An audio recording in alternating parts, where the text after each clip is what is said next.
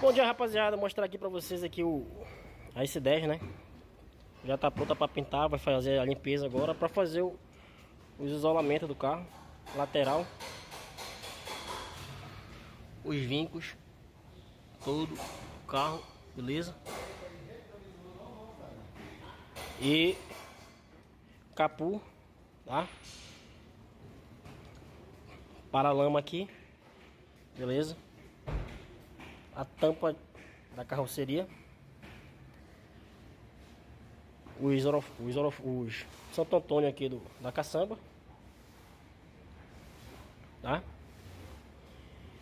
E falando aqui para vocês um pouco do passo a passo da preparação, que foi os materiais que foi utilizado, né? A gente utilizou aqui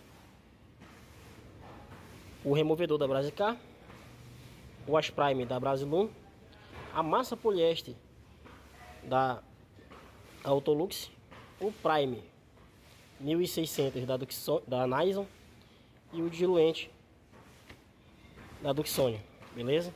E a gente vai finalizar aqui com Autoclass a pintura desse veículo, beleza? Então, cara, o passo a passo da, da, da preparação é muito importante para te ter uma finalização boa do veículo, beleza? Aqui não foi usado o kit para taquear o Prime, o o taco foi tudo taqueado manualmente. É, o kit foi passado só na 800 mesmo, beleza? E os tacos utilizados, taco por Plex também, beleza? Então, cara, é isso aqui, ó. Passo a passo. E usamos aqui também o KPO da Max Ruby para fazer a aqueles acabamentos onde pega o, o, KPO, beleza? Que é a calafetação, né? E agora vamos para a limpeza do veículo, isolamento para a gente fazer a pintura desse carro, desse veículo, ok?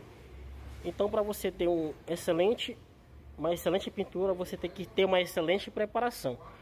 Não basta você ser um excelente pintor de pistola, pistolar legal, se a sua preparação não tiver 100% e vice-versa. Não, não, não vale a pena você ser um ótimo preparador se sua pistolagem também não é legal, entendeu? Então tem que ser um conjunto, saber trabalhar, saber taquear por passo a passo e fazer o, o serviço com excelência para o cliente gostar, voltar e indicar para os seus amigos e familiares, né?